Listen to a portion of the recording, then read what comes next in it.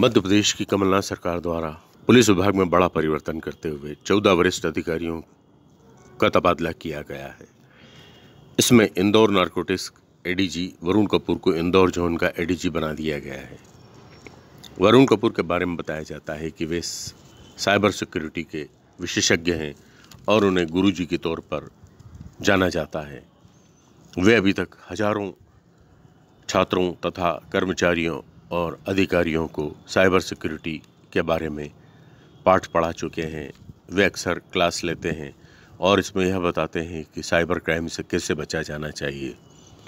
उल्लेखनीय है कि वरुण कपूर देश के एकमात्र ऐसे वरिष्ठ पुलिस अधिकारी आईएएस आईपीएस हैं, जो साइबर क्राइम के एक्सपर्ट हैं और जो लगातार गुरुजी के तौर पर क्लास लगाकर सभी को जागरूक करते हैं कि जो इन दिनों साइबर क्राइम बढ़ रहे हैं, उनसे कैसे बचा जा सकता है?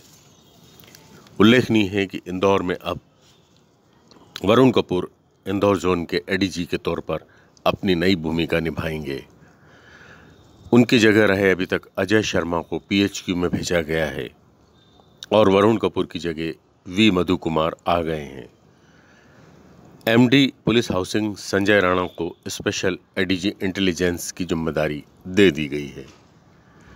कुल मिलाकर गुरुजी के तौर पर मशहूर वरुण कपूर अब अपनी नई भूमिका में भी अधिक मुस्तैद नज़र आएँगे।